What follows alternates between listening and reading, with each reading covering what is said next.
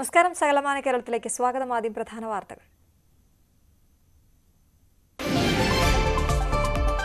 തലസ്ഥാന നഗരത്തിൽ നരക ജീവിതം നാലാം നാൾ. ജനരോഷം കടുത്തിട്ടും ഇതുവരെ കുടിവെള്ളം എത്തിക്കാനാകാതെ അധികാരികൾ വൈകുന്നേരത്തോടെ പ്രശ്നം തീരുമെന്ന് മന്ത്രി റോഷി അഗസ്റ്റിൻ വെള്ളം കിട്ടാതെ ഹോട്ടലുകളും അടയ്ക്കുന്നു.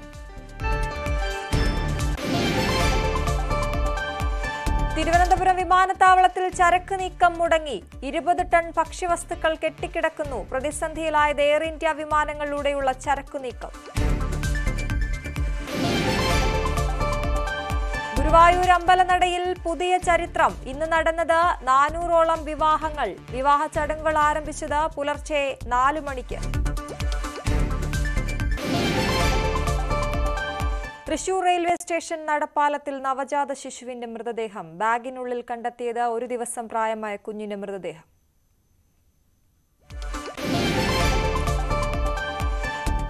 എക്സൈസുകാരെ കണ്ട് പുഴയിൽ ചാടിയ യുവാവിന്റെ മൃതദേഹം കണ്ടെത്തി. സംഭവം പാലക്കാട് ജില്ലയിലെ കുലുക്കല്ലൂരിൽ. മരിച്ചത് വല്ലപ്പുഴ സ്വദേശി കളത്തിൽ സുഹൈർ.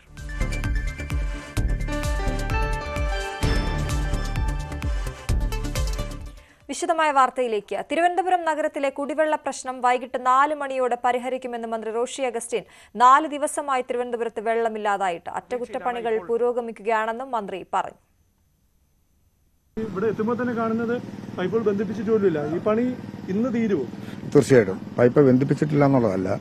ഇന്നലെ പറഞ്ഞതനുസരിച്ച് തന്നെ ഇന്നലെ രാത്രി കൊണ്ട് ഇത് ചാർജ് ചെയ്യാൻ കഴിയുമായിരുന്നു. ഞാൻ ഇന്നലെ രാത്രി പതിനൊന്നര മണി തൊട്ട് രണ്ടര മൂന്ന് മണി വരെ ഈ സൈറ്റിലുണ്ടായിരുന്നു. ഞാൻ രാവിലെ തിരിച്ചു വന്നതാണ്. ഇന്നലെ ശിവൻകുട്ടി മന്ത്രി തന്നെ നേരിട്ടൊരു മീറ്റിംഗ് എടുത്തിരുന്നു. അവിടെ തന്നെ ചീഫ് സെക്രട്ടറി ഒരു മീറ്റിംഗ് എടുത്തു.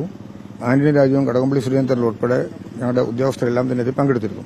അപ്പോൾ നമുക്ക് വന്നത് ഈ നിങ്ങൾ കണ്ട ആ വാൽവ് ആ വാൽവ് ബ്ലോക്ക് ചെയ്ത് പമ്പിംഗ് നടത്തി ചാർജ് ചെയ്യാനായിരുന്നു ആദ്യം ഉദ്ദേശിച്ചത്. അപ്പോൾ നമുക്ക് കുറേ സ്ഥലങ്ങളിലേക്ക് വെള്ളം കൊടുക്കാൻ കഴിയുമായിരുന്നു. പക്ഷെ അങ്ങനെ ചെയ്തു കഴിഞ്ഞപ്പോൾ അവിടെ ഒരു ചെറിയ ചോർച്ച ഉണ്ടായി ചെറിയൊരു ലീക്ക് ഉണ്ടായി. ആ ലീക്ക് വൈഡൻ ചെയ്യാനുള്ള സാധ്യത ഉണ്ടെന്നുള്ളത് കൊണ്ടാണ് അത് പിന്നെ സ്ഫോടനാത്മകമായ കാര്യങ്ങൾ സംഭവിച്ചേക്കാം. എന്നുള്ള ഒരു ടെക്നിക്കൽ മെഷർമെന്റ് വന്നപ്പോൾ അത് പിന്നെ നമുക്ക് ബ്ലോക്ക് ചെയ്യേണ്ടി വന്നു. അല്ലെങ്കിൽ ഇന്നലെ തന്നെ നമുക്ക് അവിടെ നിന്നുള്ള പമ്പിങ് നമുക്ക് കുറെ ഇത് മുകളിലേക്കുള്ള ഭാഗത്തേക്ക് വരെ നമുക്ക് കൊടുക്കാൻ കഴിയുമായിരുന്നു. ഇപ്പോൾ ഈ കാണുന്ന ഈ ബെൻഡ് ഈ ബെൻഡ് ഇന്നലെ ഞാൻ ഇവിടുന്ന് പോകുമ്പോൾ ബെൻഡിന്റെ പണി പൂർത്തീകരിച്ചുകൊണ്ടിരിക്കുന്നേ ഉള്ളൂ. ഇത് ഇന്നലെ ഇവിടെ ഞാൻ ഉള്ളപ്പം തന്നെ ഇട്ടൊരു പൈസ ഇനി അവിടുന്ന് ഒരു പീസും കൂടി ഇങ്ങോട്ട് കോൺക്രീറ്റ് ക്ലിയർ ചെയ്യാനായിട്ടുള്ളൂ. ആ പീസ് കഴിഞ്ഞാൽ ഇവിടുത്തെ വർക്ക് തീരും. പക്ഷേ ഇതൊരു വലിയ ജംഗ്ഷനാണ് ഇവിടുന്ന് വരുന്ന അബീക്കറ്റിൽ നിന്ന് വരുന്ന ഫോഴ്സ് വെള്ളം ഇവിടെ വന്ന് ഇങ്ങനെ ശക്തമായിട്ട് ഇടിക്കുമെന്നുള്ളതുകൊണ്ട് ഈ ബെൻഡ് കോൺക്രീറ്റ് ബ്ലോക്ക് ആക്കേണ്ടതായിട്ടുണ്ട്. റെഡിമിക്സ് കോൺക്രീറ്റ് ഓൾറെഡി വന്ന് കിടപ്പുണ്ട്. അപ്പോൾ ഈ പൈപ്പ് ഇപ്പോൾ അവിടെ ടാപ്പ് ചെയ്യുന്ന പൈപ്പിന്റെ ഷേപ്പ് ചെയ്ത് ഇതിലേക്ക് ചെന്ത് ചെയ്ത് കഴിഞ്ഞാൽ ഈ ബെൻഡ് കോൺക്രീറ്റ് ബ്ലോക്കിനകത്താക്കും ഇത് കഴിഞ്ഞാൽ പമ്പിങ് നമുക്ക് ആരംഭിക്കാം. ഒരേ സമയം തന്നെ വാൽവിന്റെ പണി ഇപ്പം തീരുന്ന ഘട്ടത്തിലേക്ക് ആയിട്ടുണ്ട്. അപ്പോൾ വാൽവിന്റെ പണി അവിടെയും ഈ പണി ഒരേ ഘട്ടത്തിൽ തന്നെ പൂർത്തീകരിച്ച് പമ്പിങ് നമുക്ക് ആരംഭിക്കാനായിട്ട് കഴിയും. എങ്കിലും സ്വാഭാവികമായിട്ട് ഒരു രണ്ടു മണി സമയത്തോളം എടുത്തേക്കാം ഇതൊരു ചെറിയ വർക്കല്ലല്ലോ. ഉദ്ദേശിച്ചതിനേക്കാൾ നമുക്ക് താമസം വന്നത് ആ വാൽവിന് തകരാറ് വന്നില്ലായിരുന്നെങ്കിൽ നമുക്ക് അവിടെ നിന്നുള്ള പമ്പിങ് നടത്താനും കഴിഞ്ഞതിനും ഈ പണി കുറെ കൂടെ സുഗമമാക്കാനും കഴിഞ്ഞതിനും. അപ്പോൾ അവിടെ തകരാറ് സംഭവിച്ചതോടുകൂടി അതിനകത്ത് കിടക്കുന്ന വെള്ളം അഴിച്ചു വിടാതെ നമുക്ക് ഇവിടുത്തെ പണി നടത്താൻ കഴിയാതെ പോകുന്നു. കാര്യം അതിൽ ബ്ലോക്ക് ചെയ്തുകൊണ്ട് പറഞ്ഞാൽ ഈ പണി നമുക്ക് നടത്താൻ ഇങ്ങോട്ടാണല്ലോ വെള്ളം വരേണ്ടത്. അങ്ങനെ സംഭവിച്ചതുകൊണ്ടാണ് നമുക്ക് ഈ ഒരു ചെറിയ തടസ്സം നേരിട്ടത്. ഞങ്ങൾക്ക് വലിയ ബുദ്ധിമുട്ടുണ്ടായിട്ടുണ്ട്. വലിയ ജാഗ്രതയോടുകൂടി ഇതൊക്കെ ശ്രദ്ധിച്ചെങ്കിൽ പോലും ടെക്നിക്കലായിട്ട് വന്ന ചില ബുദ്ധിമുട്ടുകൾ ജനങ്ങളോട് തന്നെ സത്യത്തിൽ വലിയ വിഷമം ഞങ്ങൾക്ക് തോന്നുന്നുണ്ട്. ഞാൻ എന്നെ പലരും വിളിച്ചു. പക്ഷെ അവരൊക്കെ നല്ല രീതിയിൽ കാര്യങ്ങൾ പറഞ്ഞപ്പോൾ അതിനോട് സഹകരിച്ചെങ്കിൽ പോലും ഭാവിയിൽ ഇത്തരം കാര്യങ്ങളിൽ കുറെ കൂടി ജാഗ്രത പുലർത്താനായിട്ട് ശ്രദ്ധിക്കും. ഇതൊക്കെ കുറേയേറെ പഴകിയ പൈപ്പുകളും അതോടൊപ്പം തന്നെ ഇതിപ്പോൾ റെയിൽവേ ഡബ്ലിങ്ങുമായി ബന്ധപ്പെട്ടാണ് നമുക്ക് മാറ്റിയിടേണ്ട ഒരു സ്ഥിതി വന്നത്. അപ്പോൾ വർക്ക് അങ്ങനെ റെയിൽവേക്കും അത് ആവശ്യമാണ് ഡബ്ലിങ് നടക്കണമെങ്കിൽ ഈ പൈപ്പ് മാറ്റി കൊടുത്തേ നമുക്ക് സാധ്യമാകുള്ളൂ അതുകൊണ്ട് ആരംഭിച്ചൊരു പണിയാണ്. ഇപ്പം ഇന്നും കൂടി ആകുമ്പം നാലാം ദിവസത്തേക്ക് കടന്നിട്ടുണ്ട്. ഏതായാലും ഇന്ന് നമുക്ക് നല്ല ശതമാനം പൂർണമായിട്ടും വെള്ളം എത്തിക്കാൻ കഴിയും ഈവനിങ്ങോട് കൂടി. അരുവിക്കരയിൽ നിന്ന് ഏതാണ്ട് ഒരു നാല് മണിക്ക് മുമ്പായിട്ട് പമ്പിംഗ് ആരംഭിക്കും. പമ്പിംഗ് ആരംഭിച്ചാലും നമുക്ക് ഇവിടം വരെ ഈ ലൈനിൽ ഈ പറയപ്പെടുന്ന സ്ഥലം പിന്നെ ഐരാണിമുട്ടം ടാങ്കിലേക്ക് എത്തണമെങ്കിൽ തന്നെ ഒരു മണിക്കൂറോളം സമയമെടുക്കും. ഈ വാട്ടർ ഇവിടുന്ന് ഏതാണ്ട് ഇരുപത്തഞ്ച് കിലോമീറ്റർ ഡിസ്റ്റൻസ് ഉണ്ട്. അവിടെ വരെ ചെല്ലുമ്പോഴാണ് പിന്നെ എല്ലാ ഡിസ്ട്രിബ്യൂഷൻസും ശരിയാവുള്ളൂ. പക്ഷെ അതുവരെ നിൽക്കേണ്ട കാര്യമില്ല. ഐരാണിപുട്ടൻ ടാങ്കിലേക്ക് പോണ വഴിക്കുള്ള പ്രദേശത്തുള്ള എല്ലാ ഡിസ്ട്രിബ്യൂഷൻ ലൈനിലേക്കും അതിന് മുമ്പേ വെള്ളം പ്രവേശിച്ചു തുടങ്ങും. എന്നാൽ ഇന്ന് ഈവനിങ്ങിന് മുമ്പ് നമുക്ക് തിരുവനന്തപുരത്ത് മുമ്പത്തേക്കാളും ഭംഗിയായിട്ട് വെള്ളം കൊടുക്കാനായിട്ട് സാധിക്കുന്ന സ്ഥിതി ഉണ്ട്. ഒക്കെ ഉണ്ടായ നമുക്ക് ഗവൺമെന്റിനെ കൊണ്ട് ചെയ്യാൻ കഴിയുന്ന മുഴുവൻ കാര്യങ്ങളും ശക്തി ഉപയോഗിച്ചുകൊണ്ട് കാര്യങ്ങൾ ചെയ്തുകൊണ്ടിരിക്കുകയാണ്. അല്ല ഇതിലൊരു പ്രശ്നം ഇപ്പൊ ഇന്നിപ്പോ മണക്കാട്. ഒരു പ്രായ ഒരു ആരോഗ്യ പ്രശ്നമുള്ള ഒരാൾ. ആൾ വെള്ളം വേറൊരിടത്തു നിന്ന് എടുക്കാൻ പോയി അതിന്റെ ഭാഗമായി വീട്ടിലെത്തുന്ന മുമ്പ് കുഴഞ്ഞു വീണ് മരിക്കുകയാണ് ചെയ്യുന്നത്. എനിക്ക് അതിന് വിവരം കിട്ടുന്നില്ല. എന്തായാലും ഇതാണ് എനിക്ക് പറയാനുള്ളത്. അല്ല നമ്മുടെ ഈ രണ്ടു ദിവസം കൊണ്ട് ഈ പണി പൂർത്തിയാക്കാൻ നമുക്ക് സാധിച്ചിരുന്നെങ്കിൽ അല്ലെങ്കിൽ മുൻപ് തന്നെ രണ്ട് മാസം റെയിൽവേ ആവശ്യപ്പെട്ട കാര്യമാണ്. നമ്മുടെ പ്രതീക്ഷയ്ക്കപ്പുറം പോയി കാര്യങ്ങൾ. അത്രേ ഉള്ളൂ. ശരി. എന്തുകൊണ്ട് നമുക്ക് വെക്കേഷൻ കാലത്ത് ഇത് പൂർത്തിയാക്കാൻ ഒരു റിവ്യൂന്റെ റിവ്യൂവിന്റെ സമയം അല്ലല്ലോ ഇപ്പൊ ഇത്. ഇപ്പൊ ഇപ്പൊ ഇത് പുനഃസ്ഥാപിക്കുക എന്നുള്ള കാര്യമാണ് മേയർ ആര്യ രാജേന്ദ്രൻ എന്നോടൊപ്പം ചേരുന്നു. എപ്പോൾ ഈ പ്രശ്നത്തിന് പരിഹാരം കാണാൻ കഴിയുമെന്നാണ് കരുതുന്നത്? ഇന്നലെ നമ്മൾ ഈ പമ്പിംഗ് ഇവിടെ ആരംഭിച്ചതാണ്. ഇവിടെ നേരത്തെ വാട്ടർ അതോറിറ്റി സൂചിപ്പിച്ചതുപോലെ. പക്ഷേ നമുക്കറിയാം ഈ നമ്മൾ നിൽക്കുന്ന ഭാഗത്തെ വാൽവിൽ ഒരു ലീക്ക് വന്നതിനെ കൊണ്ടാണ് ഇപ്പോൾ കുറച്ചുകൂടി പണി ഇവിടെ ചെയ്യേണ്ടി വന്നത്. അപ്പോൾ ഇന്ന് ഉച്ചയോടുകൂടി രണ്ട് മണിയോടുകൂടി പമ്പിംഗ് ആരംഭിക്കുകയും വൈകുന്നേരത്തോടുകൂടി മുഴുവൻ സ്ഥലത്തേക്കും വെള്ളം എത്തിക്കാൻ വേണ്ടി സാധിക്കുമെന്നാണ് വാട്ടർ അതോറിറ്റിയുടെ ഭാഗത്ത് നിന്ന് നമുക്ക് അറിയാൻ കഴിയുന്നത്. ഇതിൽ എന്തെങ്കിലും വീഴ്ച സംഭവിച്ചിട്ടുണ്ടോ? ഇവർക്ക് ഇത് യഥാസമയം തീർക്കുന്നില്ല തീർക്കുന്നതിൽ അല്ല വീഴ്ചയല്ല. നമുക്കറിയാലോ ഇത് വലിയ ഒരു ലൈനാണല്ലോ. ഏറ്റവും നഗരത്തിൽ ഏറ്റവും വലിയ തരത്തിൽ വെള്ളം സപ്ലൈ ചെയ്യുന്ന ഒരു വലിയ ലൈനാണ്. അപ്പൊ അതിൽ സ്വാഭാവികമായിട്ടും ഈ റെയിൽവേയുടെ ഈ ലൈൻ ഇരട്ടിപ്പുമായി ബന്ധപ്പെട്ടുകൊണ്ടുള്ള വർക്കിന്റെ ഭാഗമായിട്ടാണ് ഇതിപ്പോ നമുക്ക് കണക്ഷൻ മാറ്റി കൊടുക്കേണ്ടതായിട്ട് വന്നിട്ടുള്ളത്. അപ്പൊ ഇത്രയും വലിയ പൈപ്പ് മാറ്റുമ്പോൾ ഉണ്ടാകുന്ന ഒരു സാങ്കേതിക തടസ്സം സ്വാഭാവികമായിട്ടും ഉണ്ടായിട്ടുണ്ട്. അതിൽ വീഴ്ച എന്ന് പറയുന്നതിനപ്പുറം നമ്മൾ പ്രതീക്ഷിക്കുന്നതിനേക്കാൾ കൂടുതൽ ആ പ്രവൃത്തി നീണ്ടുപോയി എന്ന് നമുക്ക് പറയേണ്ടി വരും. കാരണം നാൽപ്പത്തെട്ട് മണിക്കൂർ എന്നുള്ളതാണ് വാട്ടർ അതോറിറ്റി പ്രതീക്ഷിച്ചിരുന്നത്. ആദ്യം അങ്ങനെയായിരുന്നു കരുതിയിരുന്നത്. അതുകൊണ്ട് തന്നെ ഒരു അറിയിപ്പ് വാട്ടർ അതോറിറ്റിയുടെ ഭാഗത്തുനിന്ന് പൊതുജനങ്ങൾക്ക് കൊടുത്തിരുന്നു. അപ്പൊ ആ പൊതുജനങ്ങൾക്ക് കൊടുക്കുമ്പോൾ സ്വാഭാവികമായിട്ട് അവർക്ക് വെള്ളം ശേഖരിച്ച് വെക്കാൻ കഴിയണം എന്നുള്ളതായിരുന്നു പക്ഷേ അത് എല്ലായിടത്തേക്കും എത്തിയില്ല. അറിയിപ്പ് സ്വാഭാവികമായിട്ട് പത്രമാധ്യമങ്ങളിലൂടെ എല്ലായിടത്തേക്കും എത്തിയില്ല. അത്തരം പ്രയാസങ്ങളൊക്കെ ഉണ്ടായി. പക്ഷേ നാൽപ്പത്തെട്ട് മണിക്കൂറിനുള്ളിൽ ഇത് പൂർത്തിയായില്ല എന്നുള്ള വിഷയവുമുണ്ട്. അത് തുടർന്നുള്ള കാര്യങ്ങൾ നമ്മൾ പരിശോധിക്കേണ്ടതാണ്. പക്ഷേ ഇതൊരു സാങ്കേതിക തടസ്സം. ഇന്ന് തന്നെ ഇന്ന് തന്നെ ഇത് പരിഹരിക്കാൻ കഴിയും. ഇന്നലെ മൂന്ന് മണിയോടുകൂടി വെളുപ്പിന് മൂന്ന് മണിയോടുകൂടി ഇന്ന് വെളുപ്പിന് മൂന്ന് മണിയോടുകൂടി പമ്പിംഗ് ആരംഭിക്കുകയും ഇവിടുന്ന് ഏതാണ്ട് പി ടി പി വരെയുള്ള പമ്പിംഗ് കൃത്യമായി നടക്കുന്ന ഒരു സാഹചര്യം വന്നു. ഭാഗികമായി നടക്കുന്ന സാഹചര്യം വന്നു. അപ്പോഴാണ് ഈ ഇവിടെ വർക്ക് നടന്നുകൊണ്ടിരിക്കുന്നിടത്ത് ഒരു ലീക്ക് വന്നത്. അത് പരിഹരിക്കാൻ ആവശ്യമായ ഇടപെടലാണ് ഇപ്പൊ നടന്നുകൊണ്ടിരിക്കുന്നത്. ഇന്ന് തന്നെ വെള്ളം എത്തുമെന്ന് തന്നെയാണ് അധികൃതർ പറയുന്നത്. മറ്റു വാർത്തകളിലേക്ക് പോകുമ്പോൾ ഗുരുവായൂരിൽ ഇന്ന് മുന്നൂറ്റി അൻപത്തിയഞ്ച് വിവാഹങ്ങളാണ് നടക്കുന്നത്. വിവാഹങ്ങളുടെ കണക്കിൽ പുതുചരിത്രമാണ് ഗുരുവായൂരിനെ സംബന്ധിച്ചിടത്തോളം പുലർച്ചെ നാല് മണിയോടെയാണ് വിവാഹ ചടങ്ങുകൾ ആരംഭിച്ചത്.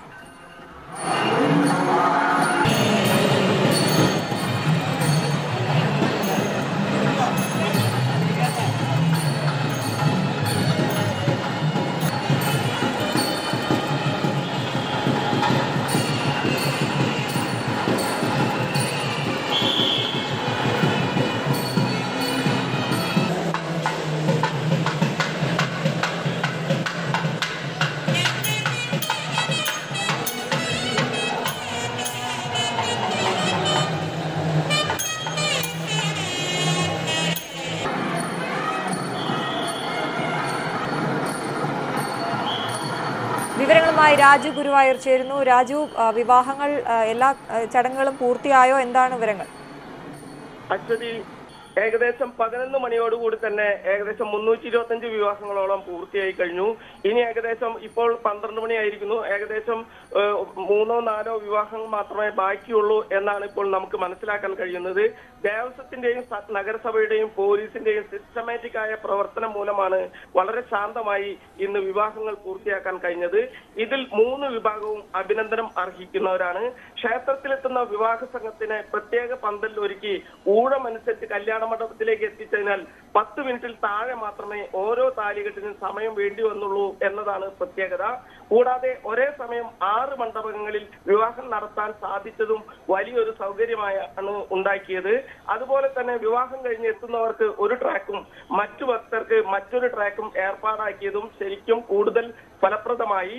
ഇതുകൊണ്ടൊക്കെ തന്നെ തിക്കും തിരക്കും ഇല്ലാതെ വളരെ ശാന്തമായി വിവാഹ ചടങ്ങുകൾ പൂർത്തിയാക്കാൻ സാധിച്ചു എന്ന് പല വിവാഹ പാർട്ടികളും ന്യൂസ് എയ്റ്റീനോട് പറയുകയുണ്ടായി.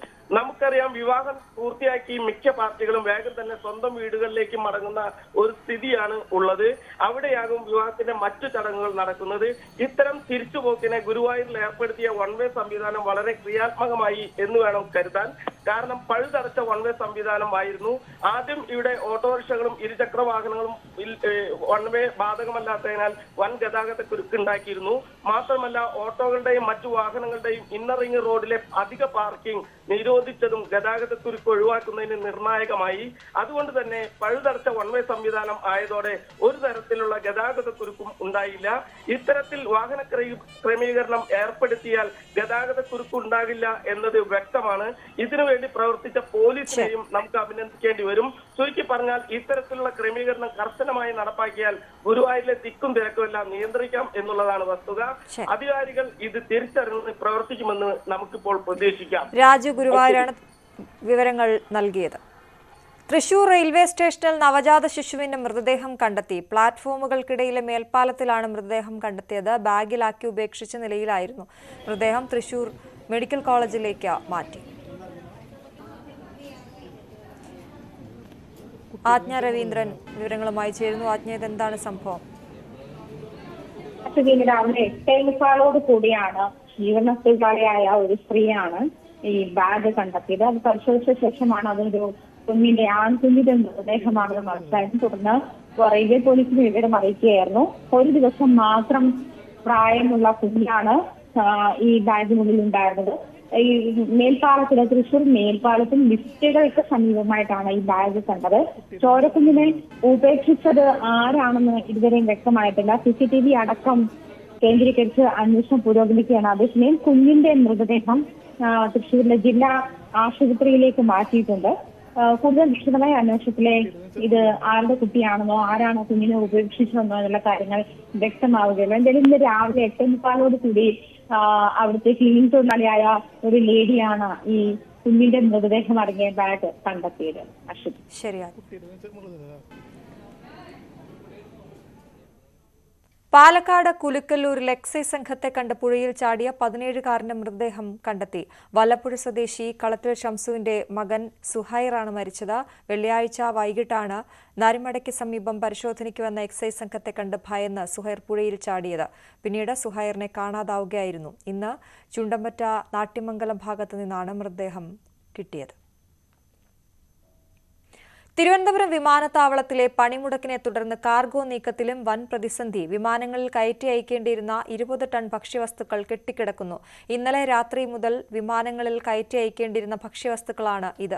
എയർ ഇന്ത്യ സാറ്റസ് സാറ്റ്സ് കൈകാര്യം ചെയ്യുന്ന വിമാനങ്ങളിലെ കാർഗോ നീക്കത്തിലാണ് പ്രതിസന്ധി.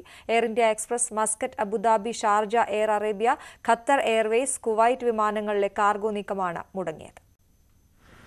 തിരുവനന്തപുരം വിമാനത്താവളത്തിൽ ഇന്നലെ രാത്രി തുടങ്ങിയ എയർ ഇന്ത്യ സാറ്റ് ജീവനക്കാരുടെ പണിമുടക്ക് വിമാനത്താവളത്തിന്റെ പ്രവർത്തനത്തെ അക്ഷരാർത്ഥത്തിൽ പ്രതിസന്ധിയിലാക്കിയിരിക്കുന്നുവെന്ന് പറയാൻ ഏതാണ്ട് ഇരുപത് ടൺ കാർഗോ കയറ്റി അയക്കേണ്ട കാർഗോസ് കെട്ടിക്കിടക്കുന്ന സാഹചര്യമാണ്. അതുമൂലം വിമാനങ്ങൾ വൈകുന്ന ഒരു പശ്ചാത്തലമുണ്ട്. Air India Express Muscat Abu Dhabi Sharjah Air Arabia Qatar Airways Kuwait വിമാനങ്ങളിലെ cargo നീക്കമാണ് മുടങ്ങിയിരിക്കുന്നത്. ഏതാണ്ട് പൂർണമായി തന്നെ ഇവ മുടങ്ങിയിരിക്കുന്നുവെന്ന് വേണം പറയാൻ. പുലർച്ചെ എമിറേറ്റ്സ് വിമാനത്തിൽ മാത്രമാണ് കുറച്ചെങ്കിലും കാർഗോ കയറ്റി അയക്കാൻ കഴിഞ്ഞിരിക്കുന്നത്. എന്തായാലും എല്ലാ ട്രേഡ് യൂണിയനുകളുടെയും നേതാക്കൾ ഒരുമിച്ചാണ് ഈ പണിമുടക്കിന് നേതൃത്വം നൽകുന്നത്. ഇങ്ങനെയൊരു സമരവുമായി അപ്രതീക്ഷിതമായി കടന്നു വരാനുണ്ടായ സാഹചര്യം എന്താണ്? അഞ്ചു മാസത്തോളമായി നടക്കുന്ന ചർച്ചയുണ്ട്. ആ ചർച്ച റീജിയണൽ ലേബർ കമ്മീഷണറുടെ സാന്നിധ്യത്തിലാണ് വേതന പരിഷ്കരണവും. ഇപ്പോൾ ലേറ്റസ്റ്റ് ഇമ്മീഡിയറ്റ് ഇഷ്യൂ എന്ന് പറയുന്നത് പിന്നെ ബോണസുമായി ബന്ധപ്പെട്ട വിഷയമാണ്. അപ്പോൾ ഒരു ചർച്ച തുടങ്ങി ആ വിഷയത്തിൽ കൺക്ലൂഷൻ എത്താൻ പറ്റിയില്ല. അങ്ങനെ ഇരിക്കെ ബോണസിന്റെ വിഷയം വന്നു. അപ്പോൾ എയർപോർട്ടിലെ മറ്റു കമ്പനികൾ ഇവിടെ പതിനൊന്നോളം കമ്പനികൾ ഓപ്പറേറ്റ് ചെയ്യുന്നു. മറ്റു കമ്പനികൾ ബോണസ് അടക്കമുള്ള വിഷയങ്ങളിൽ സെറ്റിൽമെന്റ് ആക്കാൻ തയ്യാറായി വന്നു. പലതും ഒപ്പുവെച്ച് കഴിഞ്ഞു. ലേബർ കമ്മീഷൻ നടത്തിയ മുഴുവൻ ശ്രമവും ഇവരുടെ മുമ്പിൽ പരാജയപ്പെട്ടു. എയർ ഇന്ത്യ സാറ്റ്സ് നിയമപ്രകാരമുള്ള മിനിമം ബോണസ്. ബോണസ് ആക്ടിലെ അറുപത്തിയഞ്ചിലെ മിനിമം ബോണസ് ആക്ടിലെ മിനിമം. ആ മിനിമം കൊടുക്കാൻ അവർ തയ്യാറല്ല. അതോടൊപ്പം ലേബർ കമ്മീഷൻ തന്നെ പറഞ്ഞു നമുക്ക് വേറെ മാർഗമില്ല തൊഴിലാളിക്ക് കൊടുക്കേണ്ട ആനുകൂല്യം നിങ്ങൾ കൊടുത്തേ വെക്കുള്ളൂ ആ സാഹചര്യത്തിലാണ് ഞങ്ങൾ മുമ്പ് കൊടുത്ത നോട്ടീസ് ആ നോട്ടീസ് ചൂണ്ടിക്കാണിച്ചുകൊണ്ട് ലേബർ കമ്മീഷൻ മുമ്പിൽ അവിടെ വെച്ച് തന്നെ നമ്മൾ സമരം ഡിക്ലെയർ ചെയ്ത് കത്ത് കൊടുക്കുകയും. അത് ആറാം തീയതിയാണ്. ഏഴാം തീയതി രാത്രി മുതൽ സമരം ചെയ്യുന്നുള്ളൂ. നാൽപ്പത്തെട്ട് മണിക്കൂർ കഴിഞ്ഞിട്ട് സമരം ആരംഭിക്കുകയുണ്ടായിരുന്നു ഇപ്പോൾ ഈ എങ്ങനെ ഈ പ്രശ്നത്തിന് ഒരു പരിഹാരം ഏതെങ്കിലും ചർച്ചകൾ നടക്കുന്നുണ്ടോ? കാരണം കാർഗോ നീക്കം പൂർണമായി തടസ്സപ്പെട്ടിരിക്കുന്നു എന്നാണ് മനസ്സിലാക്കാൻ കഴിയുന്നത്. ചർച്ച മാനേജ്മെന്റ് നേരിട്ട് ചർച്ച ചെയ്യുന്നില്ല. എന്നാൽ ചേംബർ ഓഫ് കോമേഴ്സ് പോലുള്ള സ്ഥാപനങ്ങൾ പൊതുസമൂഹവും വ്യാപാരി സമൂഹവും ഇതിനകത്ത് ഇടപെടുന്നുണ്ട്. ചേംബർ ഓഫ് കോമേഴ്സിന്റെ നേതാക്കന്മാർ സംസ്ഥാന നേതാക്കൾ ജില്ലാ നേതാക്കൾ ഇന്നലെ രാത്രി മുതൽ അവർ വളരെ സജീവമായി ഒരു ചർച്ച ചെയ്യിപ്പിക്കുന്ന നിൽക്കുകയാണ് അവരുടെ അഭ്യർത്ഥനയുടെ അടിസ്ഥാനത്തിൽ ഞങ്ങളിപ്പോൾ റീജിയണൽ ലേബർ കമ്മീഷണർ വിളിച്ചു. ഇപ്പോൾ ജസ്റ്റ് നൗ അദ്ദേഹം വരാമെന്ന് പറഞ്ഞു. വന്ന മാനേജ്മെന്റിന് അവധി ദിവസമാണെങ്കിലും അദ്ദേഹം യഥാർത്ഥത്തിൽ സ്ഥലത്തില്ല. പക്ഷെ അദ്ദേഹം വരികയാണ് കാറിൽ വന്നിട്ട് മാനേജ്മെന്റുമായിട്ട് അദ്ദേഹം ഒരു മീറ്റിംഗ് വിളിക്കാം. യൂണിയൻ തയ്യാറാവണം എന്ന് പറഞ്ഞു തയ്യാറാവാമെന്ന് പറഞ്ഞു. അത് ചേംബർ ഓഫ് കോമേഴ്സ് ഇടപെട്ടതിന്റെ പശ്ചാത്തലത്തിലാണ് അദ്ദേഹം അതിന് തയ്യാറായത്. അപ്പോൾ അത്തരത്തിലാണ് ഈ തൊഴിലാളി നേതാക്കളുടെ തൊഴിലാളി സംഘടനാ നേതാക്കളുടെ പ്രതികരണം സ്വാഭാവികമായി വലിയ തരത്തിൽ ചരക്ക് നീക്കത്തെ ബാധിച്ചിരിക്കുന്ന ഒരു പശ്ചാത്തലം. അത് ഇവിടെ നിന്ന് കാർഗോ എക്സ്പോർട്ടിനെ അതായത് പെരിഷബിൾ ആയിട്ടുള്ള അധിക നേരം വെക്കാൻ കഴിയാത്ത കാർഗോസിന്റെ നീക്കത്തെ ഇപ്പോൾ ഉണ്ടായിരിക്കുന്ന ഈ സമരം ബാധിക്കുന്നു എന്നതാണ് ഏറ്റവും വലിയ പ്രതിസന്ധി. അങ്ങനെ ഇരുപത് ടൺ കാർഗോ തിരുവനന്തപുരം വിമാനത്താവളത്തിൽ മാത്രം കെട്ടിക്കിടക്കുകയാണ്. ഞാനിവിടെ തിരുവനന്തപുരത്ത് നിന്ന് എക്സ്പോർട്ട് ചെയ്യുന്ന ഒരു എക്സ്പോർട്ടറാണ്.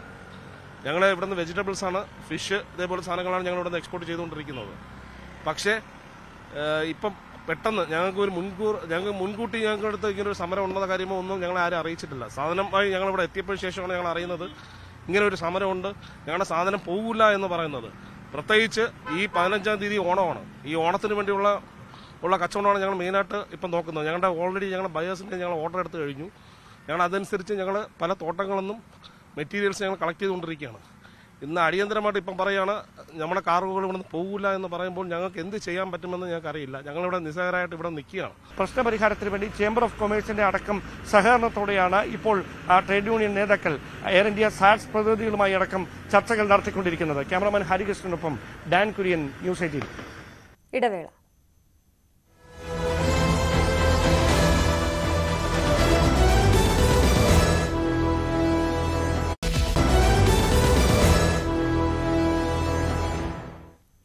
തിരുവനന്തപുരം പൂവച്ചൽ സ്വദേശിയായ ഒരു ഓട്ടോ ഡ്രൈവർ കഴിഞ്ഞ മാസം ലഭിച്ച വൈദ്യുതി ബില്ല് കണ്ട് ഷോക്കേറ്റ അവസ്ഥയിലാണ്. ഇടിമിന്നലേറ്റ എർത്ത് വയറിലൂടെ വൈദ്യുതി മണ്ണിലേക്ക് പ്രവഹിച്ചതിന് ബില്ലടയ്ക്കേണ്ട ഗതികേടിലാണ് ഈ ഹതഭാഗ്യൻ. അറുന്നൂറ്റി അൻപത് സ്ക്വയർ ഫീറ്റ് മാത്രമുള്ള വീടിന്റെ ഉടമയായ ഓട്ടോ ഡ്രൈവർക്ക് ഏഴായിരത്തി അഞ്ഞൂറ് രൂപയിലധികമാണ് കഴിഞ്ഞ തവണത്തെ വൈദ്യുതി ബില്ല്. എത്രയും പെട്ടെന്ന് പണം അടച്ചില്ലെങ്കിൽ വൈദ്യുതി വിച്ഛേദിക്കുമെന്ന നിലപാടിലാണ് കെ ഇത് ഓട്ടോറിക്ഷ തൊഴിലാളിയായ സേവ്യർ ഇദ്ദേഹം വരുന്നത് ഉറിയകോട് എന്ന സ്ഥലത്ത് നിന്നാണ്. ഞാൻ തിരുവനന്തപുരത്തെ സെക്രട്ടേറിയറ്റിന്റെ മുമ്പിൽ വെച്ചാണ് ഇദ്ദേഹത്തെ കാണുന്നത്. അദ്ദേഹം എന്നോട് പറഞ്ഞ ഒരു ആശങ്ക അത് കേരളത്തിലെ മുഴുവൻ സാധാരണക്കാരായ ആളുകളെയും ബാധിക്കുന്ന ഒരു ആശങ്കയാണ്. അതുകൊണ്ടാണ് ഞങ്ങളത് പ്രേക്ഷകർക്ക് മുമ്പിലേക്ക് എത്തിക്കുന്നത്. ഇത് ഇദ്ദേഹത്തിന് കഴിഞ്ഞ മാസം കെ എസ് ഇ ബിയിൽ നിന്ന് ലഭിച്ച വൈദ്യുതി ബില്ലാണ്. അറുന്നൂറ്റി അൻപത് സ്ക്വയർ ഫീറ്റ് മാത്രം ഉള്ള ഒരു വീട്ടിൽ വന്നിരിക്കുന്ന വൈദ്യുതി ബില്ലാണ് ഏഴായിരത്തി എഴുന്നൂറ്റി എഴുപത്തി ഒൻപത് രൂപ. ഈ ഓട്ടോ ഓടിച്ചാണ് ഇദ്ദേഹം നിത്യ ചെലവിനുള്ള വക കണ്ടെത്തുന്നത്. ആ മനുഷ്യനോട് തന്റേതല്ലാത്ത കാരണത്താൽ വൈദ്യുതി ബോർഡിന് സംഭവിച്ച ഒരു പിഴവിന് ഏഴായിരത്തി എഴുന്നൂറ്റി അറുപത്തി ഒൻപത് രൂപ വൈദ്യുതി നിരക്കായി അടിയന്തരമായി നൽകണം അല്ലെങ്കിൽ വൈദ്യുതി കണക്ഷൻ വിച്ഛേദിക്കുമെന്ന മുന്നറിയിപ്പ് കൂടി കൊടുത്തിരിക്കുകയാണ്. ഇനി എന്താണ് കാരണമെന്ന് അദ്ദേഹത്തോട് തന്നെ ചോദിക്കുക. എന്താണ് ഇങ്ങനെ ഒരു ഇത്രയും ബില്ല് കിട്ടാനുണ്ടായ കാരണം എന്താണ്? അന്ന് ഒരാഴ്ചക്ക് മുമ്പ് മൂന്ന് മാർച്ചയ്ക്ക് മുമ്പ് അവിടെ ശക്തമായ ഇടിമിന്നലുണ്ടായിരുന്നു ആ. സമയത്ത് ഇതിന്റെ ഡി പി കത്തി അതിന്റെ ഷോർട്ട് സർക്യൂട്ട് എർത്ത് വഴി ഒരു ഭൂമിയിലേക്ക് പോയതായിട്ടാണ് എന്നോട് പറഞ്ഞത്. ആ. സമയം ഈ സമയത്തും ഇത് കത്തി ഭൂമിയിലേക്ക് പോകുന്ന സമയത്ത് എന്റെ വീട്ടിൽ കറണ്ട് ഉണ്ടായിരുന്നു. അക്കാരണത്തിൽ ഞാൻ ഇതിനെക്കുറിച്ച് ശ്രദ്ധിക്കാനോ മറ്റു കാര്യമൊക്കെ പോകുന്നില്ല. മീറ്റർ റീഡിംഗ് എടുക്കാവുന്ന ആളാണ്. നിങ്ങൾ ബോർഡിൽ നിന്ന് ഇതുപോലെ കത്തിയിരിക്കുന്നത് കാണുന്നതും ഭൂമിക്കടിയിലൂടെ വൈദ്യുതി പ്രവഹിക്കുന്നത്. അതായത് കറണ്ട് ഈ വീട്ടിലെ ഒരു ഉപകരണത്തിലോട്ട് വരുന്ന പോലെ ഭൂമിക്കടിയിലേക്ക് പോയിക്കൊണ്ടിരുന്നു എന്റെ ചെവിലാണ് എന്റെ എന്നിട്ട് അവിടെ വന്ന് പ്രശാന്ത് സാർ എന്നുള്ള സാർ വന്ന് പറഞ്ഞ് നിങ്ങളുടെ ഇലക്ട്രിക് ഉപകരണങ്ങളുടെ കംപ്ലൈന്റ് ആണ്. എന്റെ വയറിങ്ങിന് എന്തെങ്കിലും ഒരു കംപ്ലൈന്റ് എന്റെ വീട്ടിനകത്ത് എന്റെ ചെവിൽ കൂടെയാണ് എടുത്ത് ബാധിച്ചിട്ടുണ്ടെങ്കിലും ഞാൻ കൃത്യമായിട്ടും ബിൽ പേയ്മെന്റ് ചെയ്യാൻ ഇത് രണ്ടും കൂടെ ഇത് ഒന്നും അല്ലാത്ത രീതിയിൽ ഭൂമിക്കടിയിലേക്ക് എടുത്തു പോകുന്നതിന് ഞാൻ എന്ത് പിടിച്ചെന്നുള്ളത് എനിക്കറിയില്ല. അതിന് ഉത്തരം എക്സിക്യൂട്ടീവ് ഓഫീസർ അടുത്ത് പറഞ്ഞപ്പോഴത്തേക്കും പറയുന്നു നിങ്ങൾ ബില്ല് അടയ്ക്കുക ബാക്കി കാര്യം ഞാൻ പിന്നെ ഈ ബില്ല് എണ്ണൂറ് രൂപ നിങ്ങൾ അടച്ചേ പറ്റൂ. ഇല്ലാത്ത ദിവസം ഡിസ്കണക്റ്റിംഗ് ആയിട്ട് അത് പോകും അവർക്ക് ഇത് അടച്ചില്ലെങ്കിൽ അതിന്റെതായ പ്രശ്നം ഉണ്ടാവും പറഞ്ഞു. അപ്പൊ ഈ ഈ വൈദ്യുതി ഇങ്ങനെ ഈ ഭൂമിക്കടിയിലേക്ക് പോകുന്ന കാര്യം നിങ്ങൾ എപ്പോഴാണ് അറിഞ്ഞത്? ഞാൻ അറിയുന്ന ഈ ഇലക്ട്രിക് ബില്ല് എടുക്കാൻ വന്ന ആൾ വന്നതിന് ശേഷമാണ്. അങ്ങനെയാണ് പറഞ്ഞത്. അതുകൂടെ മീറ്റർ റീഡിംഗിൽ വന്നു മീറ്റർ റീഡിംഗിൽ വന്നു കയറി പോയി അങ്ങനെയാണ് ഈ വലിയ ബില്ല് വന്നത്. അപ്പൊ നിങ്ങൾ ഇത് അടയ്ക്കൂ. ഞാൻ അടയ്ക്കാൻ ഒരു നിവൃത്തിയില്ലാത്തതുകൊണ്ട് സാറേ ഞാൻ നേരെ തുമ്പിട്ട് ആരും കണ്ട് പ- ഇതിന് നീട്ടി കിട്ടിയെങ്കിൽ ഞാൻ കുറച്ച് അടച്ചത് അതൊരു സാവകാശം കിട്ടിയില്ലെങ്കിൽ. സാവകാശം കിട്ടി അടച്ചത് പക്ഷേ എന്റെ എനിക്ക് ഇപ്പോഴും ഒരു സംശയം. നല്ല കാരണത്തിന് എന്തിനു വേണ്ടിയാണ് ഞാൻ ബില്ല് അടയ്ക്കുന്നത്? എന്റെ ഗാർഹിക ആവശ്യത്തിന് എടുത്തിട്ടുള്ള വൈദ്യുതിയാണ് കൃത്യമായിട്ട് ഞാൻ അടയ്ക്കാൻ തയ്യാറാണ്. ഇല്ലാത്ത പക്ഷേ ഞാൻ വ്യക്തഭൂമി ഭൂമി അവരുടെ എന്താണ് ഇതിൽ കംപ്ലൈന്റ് എന്തെങ്കിലും കണ്ടുപിടിക്കേ? ഇലക്ട്രിക് ഇത് ഒന്നീ ലൈറ്റനിങ് ഉണ്ടായിട്ടാണോ? എന്ത് കാരണം പോലും പറ ഒരു കാരണം പോലും പറയാൻ ബില്ല് അടയ്ക്കുന്നത് എനിക്ക് മനസ്സിലാകുന്നില്ല. എന്റെ നിങ്ങൾ എവിടെയാണ് താമസിക്കുന്നത്? ഞാൻ ഉറിയാക്കൂട് പോയിച്ചാൽ പൂവച്ചൽ ഞാൻ നെടി ആലുംകുഴി ഉറിയാക്കോട് ആലുംകുഴി ഓക്കെ. അവിടെയാണ് ഈ പ്രശ്നം ഉണ്ടായത് അപ്പൊ നിങ്ങൾ ഇത് ആർക്കാണ് പരാതി? ഓംബുഡ്സ്മാനാണോ അതോ? ഞാൻ റെഗുലേറ്ററി കമ്മീഷന് കൊടുത്തിട്ടുണ്ട്. അപ്പൊ അവിടെ നിന്ന് അത് സാറും അദാലത്ത് കാര്യങ്ങളോട്ട് തിരക്കായതുകൊണ്ട് ആ കേസ് എടുക്കാൻ പറ്റുന്നില്ല. അങ്ങനെ പറഞ്ഞു. അങ്ങനെ അല്ല അപ്പൊ എടുക്കാൻ പറ്റില്ല എന്ന് പറഞ്ഞില്ല അവിടെ ആളില്ല. ആളില്ല. അപ്പൊ എനിക്ക് പത്താം തീയതി മുമ്പ് എങ്ങനെ ഒരു സ്റ്റേ ഓർഡറിൽ കിട്ടിയ ഒരു ഉപകാരമായിരുന്നു. അല്ലെ നിങ്ങളുടെ വൈദ്യുതി കണക്ഷൻ പോകും വൈദ്യുതി കണക്ഷൻ പത്താം തീയതി പോകും അടയ്ക്കാൻ നിവർത്തിയില്ല സാർ രണ്ട് പിള്ളേർ ബിടെക് ഒരാൾ ബി എസ് സി ഫോറൻസിക് പഠിച്ച് അങ്ങനെ പോകുന്നതാണ്. ഇത് വോട്ടിംഗ് ഇതല്ല വേറെ വരുമാന മാർഗമില്ല ഓക്കെ എന്തായാലും ഈ വാർത്ത കാണുന്ന കെ ഉദ്യോഗസ്ഥരോടാണ്. നിങ്ങൾക്ക് നഷ്ടം ഉണ്ടായിരിക്കാം. ആ നഷ്ടം നികത്തുന്നതിന് വേണ്ടി നിങ്ങൾക്ക് ഒരുപാട് പദ്ധതികൾ കാണും. പക്ഷേ ഇതുപോലെ സേവ്യറിനെ പോലുള്ള സാധാരണക്കാരുടെ വയറ്റത്തടിക്കുന്ന ഇത്തരമുള്ള നടപടികൾ അതൊന്ന് നിർത്തിവെക്കുന്നത് നല്ലതായിരിക്കും. കാരണം ആ രണ്ടറ്റം കൂട്ടിമുട്ടിക്കാൻ പാടുപെടുന്ന സാധാരണക്കാരിൽ സാധാരണക്കാരനാണ് ഈ മനുഷ്യൻ. അങ്ങനെ ഒരു മനുഷ്യനോട് ഇങ്ങനെ ഒരു ക്രൂരത വേണമെന്ന് നിങ്ങൾ ഒന്നുകൂടി ആലോചിക്കണം. എന്നിട്ട് സാവകാശം കൊടുത്താൽ അദ്ദേഹം ഈ ഏഴായിരത്തി എഴുന്നൂറ്റി എഴുപത്തി ഒൻപത് രൂപ അടയ്ക്കും എന്ന് ഉറപ്പ് നൽകിയിട്ടുണ്ട്. അങ്ങനെ ചെയ്യുന്നില്ലെങ്കിൽ അത് നിങ്ങൾ ഇതുപോലെ നടക്കുന്ന സാധാരണക്കാരോട് ചെയ്യുന്ന ഏറ്റവും വലിയൊരു ദ്രോഹമായിട്ട് മാറും. Cameraman Bibin മുരളിക്കൊപ്പം Dan Kurian News eighteen. Kottayam ചാലുകുന്നിലെ പഴയ തടി ഉപകരണങ്ങൾ വിൽക്കുന്ന ഫർണിച്ചർ കടയിൽ തീപിടുത്തം. രാവിലെ ആറരയോടെയാണ് തീപിടുത്തമുണ്ടായത്. സി സി ടി വിയുടെ വയറിൽ നിന്നുണ്ടായ ഷോർട്ട് സർക്യൂട്ടാണ് അപകട കാരണം. മൂന്ന് യൂണിറ്റ് ഫയർഫോഴ്സ് എത്തി തീയണച്ചു. കടയുടെ ഒരു ഭാഗം പൂർണമായി കത്തിനശിച്ചു.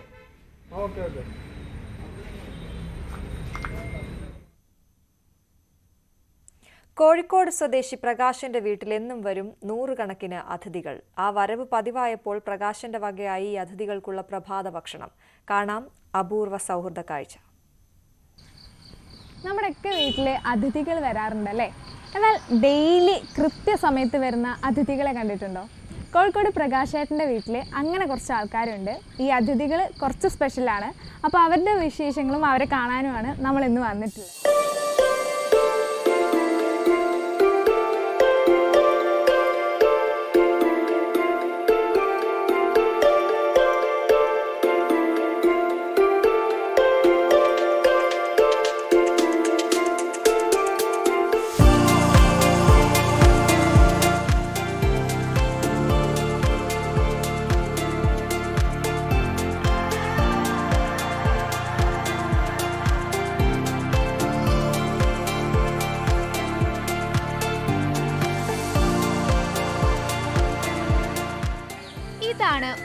മാളിക്കടവിലെ പ്രകാശൻ പ്രകാശന്റെ ചൂളം വിളിക്കായി കാതോർത്ത് കാത്തിരിക്കുകയാണ് ഈ അതിഥികൾ.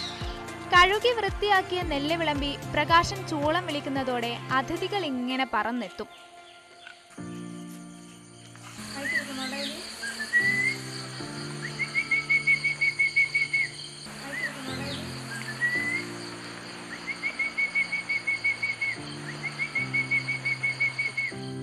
അതിഥികൾക്ക് ഭക്ഷണം നൽകാനായി പ്രത്യേകം സ്ഥലവും പ്രകാശൻ ഒരുക്കിയിട്ടുണ്ട്.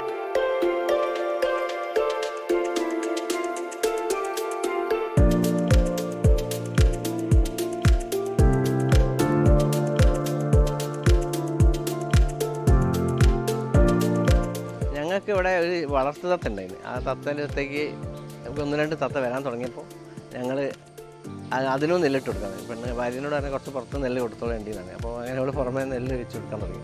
അപ്പം പുറത്ത് നിന്ന് തത്ത കൂടി കൂടി വന്നു. പിന്നെ ഒരു പത്ത് അമ്പത് അറുപതിനായപ്പോൾ തത്ത എന്തോ കാരണവശാൽ കൂട്ടുകളിൽ മിസ്സായി പക്ഷെ എന്നാലും ഐറ്റങ്ങൾ വരലുണ്ട്. ഇപ്പോൾ കണ്ടിന്യൂ ആയിട്ട് മറ്റേ ഐറ്റങ്ങളുണ്ട് അതിൽ ആ കൂട്ടത്തിൽ ഞങ്ങൾ പറഞ്ഞ തത്ത ഉണ്ടോയെന്ന് അറിയില്ല. പക്ഷേ എന്നാലും അതിനെ കൊണ്ടല്ല കേട്ടോ നെല്ല് കൊടുക്കുന്ന ഐറ്റങ്ങൾ വരുന്നതിനെ കൊണ്ട് ഞങ്ങൾ കൊടുക്കുന്നത് മാത്രമേ ഉള്ളൂ. ഈ സ്നേഹവിരുന്നിന് വർഷങ്ങളുടെ പഴക്കമുണ്ട്. നേരത്തെ വീട്ടിലുണ്ടായിരുന്ന തത്തയോട് കൂട്ടുകൂടാൻ എത്തിയതാണിവർ. സ്വന്തം തത്തയ്ക്കൊപ്പം അതിഥികളായി എത്തിയവർക്കും പ്രകാശൻ ഭക്ഷണം നൽകി.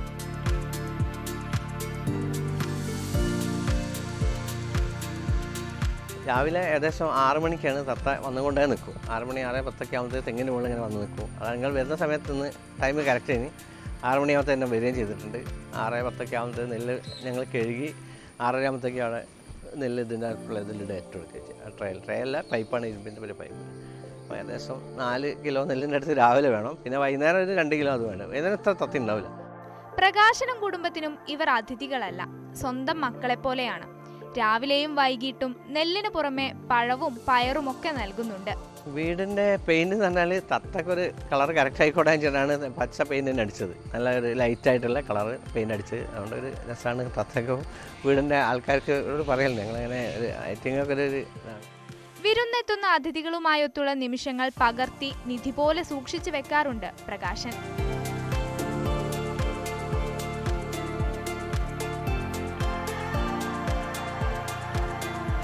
വർഷങ്ങളായി അതിഥികളെ ഊട്ടുന്ന കാര്യത്തിൽ ഒരു കുറവും വരുത്തിയിട്ടില്ല പ്രകാശൻ.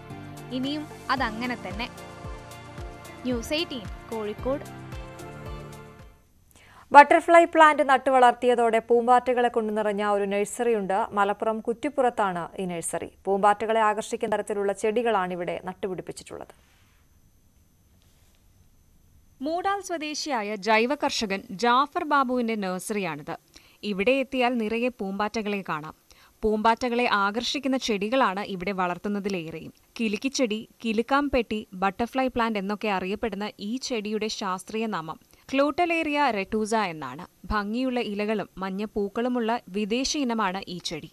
നിറയെ പൂമ്പാറ്റ ഉണ്ടാവും എല്ലാ സമയത്തും ഉണ്ടാവും വെയിലുള്ള സമയത്ത് ഉണ്ടാവില്ല അല്ലാത്ത സമയത്ത് രാവിലെയും കുറച്ച് കഴിഞ്ഞ് കുറച്ചുകൂടി കഴിഞ്ഞാലൊക്കെ നിറയെ പൂമ്പാറ്റ. എത്ര മാത്രം എന്ന് പറഞ്ഞാൽ നൂറുകണക്കിന് പൂമ്പാറ്റകൾ വരുന്നുണ്ട്. അത് ഇത് തിന്നിട്ടാണ് നശിപ്പിക്കുകയാണ് സാധാരണ. പക്ഷെ നമ്മൾ ഈ പൂമ്പാറ്റ വരാൻ വേണ്ടി പൂമ്പാറ്റ വന്നു കഴിഞ്ഞാൽ കൃഷിത്തോട്ടത്തിലൊക്കെ ഈ പരാഗണം നടക്കാനും ഇതിനൊക്കെ പറ്റുന്നതിനും പക്ഷെ ഇതുവരെ ഇത് ഇതിമൊക്കെ ഇഷ്ടംമാരുണ്ടാവും പല ഈ പല സൈസിലുള്ള പൂമ്പാറ്റ ഒന്നും കാണാത്ത സൈസ് പൂമ്പാറ്റകളാണ് വരുന്നത്. പുതുമയുള്ളതും വ്യത്യസ്തവുമായ ചെടികളും വൃക്ഷങ്ങളും പരീക്ഷിച്ച് വിജയിച്ച ജാഫർ ബാബു തന്റെ നഴ്സറിയിലെ പുതിയ താരമായാണ് ഈ കിലുകിലുക്കിയെ കാണുന്നത്. ഇതിന്റെ തൈകൾക്കും ആവശ്യക്കാരേറെയാണ്.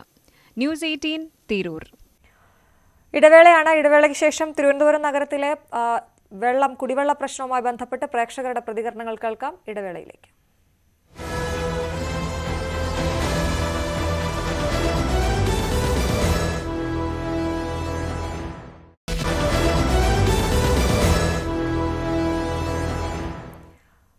നാല് ദിവസമായി തിരുവനന്തപുരം നഗരത്തിൽ കുടിവെള്ളം മുടങ്ങിയിട്ട് ഇന്നും ഇതുവരെയും കുടിവെള്ളം എത്തിയിട്ടില്ല. അതേസമയം പ്രതിസന്ധി ഇന്ന് പരിഹരിക്കുമെന്നാണ് അധികൃതർ നൽകിയിരിക്കുന്ന ഉറപ്പ്. പ്രേക്ഷകർ പ്രതികരിക്കുകയാണ്. നമുക്കൊപ്പം ഇപ്പോൾ ബൈജു എന്ന പ്രേക്ഷകൻ ചേരുന്നു തിരുമലയിൽ നിന്ന്. ബൈജു എന്താണ് പറയാനുള്ളത്? എത്രത്തോളം ബുദ്ധിമുട്ടിലാണ്? മാഡം ഇവിടെ തിരുമല തൃക്കണ്ണാരത്തു നിന്നാണ് ഞാൻ വിളിക്കുന്നത്. അപ്പൊ അവർ ഏഴാം തീയതി രാവിലെ എട്ട് മണിയോടെ വിടുമെന്നാണ് പറഞ്ഞിട്ടുണ്ടായിരുന്നത്. അപ്പൊ ഇതുവരെയും വെള്ളം വിട്ടില്ല. പിന്നെ പല സ്ഥലങ്ങളിലും ടാങ്കർ ലോറിൽ വെള്ളം എത്തിച്ചിട്ടുണ്ട്. അവർ ഇവിടെയെങ്കിലും ഒരു ടാങ്കറിൽ ഇവിടെ വെള്ളമൊന്നും എത്തിച്ചിട്ടില്ല. ഇവിടുത്തെ ആൾക്കാർ വളരെ പ്രതിസന്ധിയിലാണ്. പിന്നെ അവർ തൊടണതെല്ലാം പൊന്നായിക്കൊണ്ടിരിക്കുകയാണ് ആ അഴുക്കുചാൽ തിരുമല തിരുവനന്തപുരം അഴുക്കുചാലിൽ ഒരാൾ ഇറങ്ങി മരിച്ചു. അടുത്ത് ഒരു കുടിവെള്ളം കൊടുക്കാതെ ആളുകളെ കൊല്ലാൻ നോക്കണം. ഈ മരണ വീട്ടിൽ ഒരാൾ ചുമന്നുകൊണ്ട് കയറിയെന്നും പറഞ്ഞുകൊണ്ട് ഈ അഴുക്ക് മരണ വീട്ടിൽ ഒരാൾ വെള്ളം ചുമന്നുകൊണ്ട് കയറി അയാൾ കുഴഞ്ഞു വീണ് മരിച്ച്. ഇപ്പൊ മരണം മരണം അവർ തുടർന്ന് എല്ലായിടത്തും അവരും മരണങ്ങൾ ഈ ഭരണത്തോടെ സംഭവിച്ചുകൊണ്ടിരിക്കുകയാണ് ഇനി ആളുകളെ വെള്ളം കൊടുക്കാതെ കൂടെ കൊല്ലിക്കേണ്ട പദ്ധതിയാണെന്ന് തോന്നുന്നു നോക്കണത്. അവർക്ക് ഇന്നലെ ചെയ്യാൻ പറ്റുന്ന ജോലി ഇന്നലെ ചെയ്ത ആൾക്ക് ഉള്ള വെള്ളങ്ങൾ എത്തിച്ചിരുന്നെങ്കിൽ ആൾക്ക് ഇത്രയും ബുദ്ധിമുട്ട് വരില്ല എല്ലാം ഇന്ന് ഞായറാഴ്ച കൂടെയാണ്. അപ്പൊ എല്ലാവരും വീടുകളിൽ നിൽക്കുന്നതാണ്. വീടുകളിൽ നിൽക്കുമ്പോൾ അവർ തുണി അനയ്ക്കാനും ഇത് ബാത്റൂമിൽ പോകാനും എല്ലാതും തിരുമല തൃക്കണ്ണാപുരത്തെ ഏരിയയിലെ ഈ വെള്ളം ഇന്ന് ഈ ഒരു തുള്ളി വെള്ളം പോലും ഒരു വീട്ടിലും ഇല്ല. ആരും ഇന്നോട് തിരിഞ്ഞു പോലും നോക്കിയിട്ടില്ല ഇതുവരെ. ഇപ്പൊ ഈ കടകളൊക്കെ അടയ്ക്കാൻ പോവാണെന്ന് പറയുന്നു. ഹോട്ടലുകളൊന്നും ഈ പ്രവർത്തിക്കാൻ തിരുമല കട തിരുമലയൊക്കെ കടകൾ അടച്ചിട്ടു ഹോട്ടലെല്ലാം അടച്ചിട്ടുണ്ട്. നമുക്കതല്ല മേഡം നമുക്ക് ഇപ്പൊ ഈ ടാങ്കിൽ വാട്ടറിൽ വാട്ടർ ടാങ്കിൽ നിറച്ചിട്ട് എല്ലാ വെള്ളം ചെയ്യുന്നു. അത് കഴിഞ്ഞിട്ട് ഇവരാരും ടാങ്കിൽ കൊണ്ട് അടക്കി അടിക്കുന്ന അടിക്കുന്നെന്ന് പറഞ്ഞു.